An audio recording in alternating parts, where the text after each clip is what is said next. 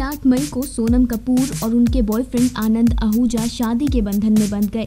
आठ मई के बाद सोनम और आनंद ने अपने दोस्तों और खास रिश्तेदारों को एक ग्रैंड रिसेप्शन दिया। इसके साथ साथ सोनम कपूर और आनंद आहूजा के परिवार की ओर से हर किसी को एक गिफ्ट हैम्पर भी दिया गया था।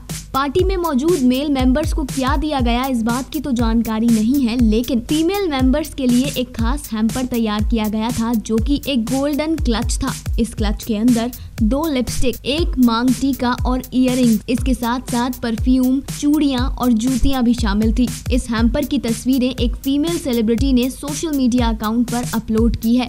सोनम की शादी कई मायनों में खास रही। सोनम कपूर का कार्ड और शादी के वेन्यू से लेकर ये हैम्पर सब कुछ बिल्कुल अलग था, जहाँ सोनम कपूर ने शादी का हैम्पर देते हुए सुहाग की निशानियों को जहन में रखा तो वहीं सोनम की शादी नेचर को ध्यान में रखते हुए की गई। उनके कार्ड से लेकर शादी के वेन्यू तक हर जगह प्रकृति की खूबसूरती झलक रही थी। Final card, news desk. Subscribe our channel for more updates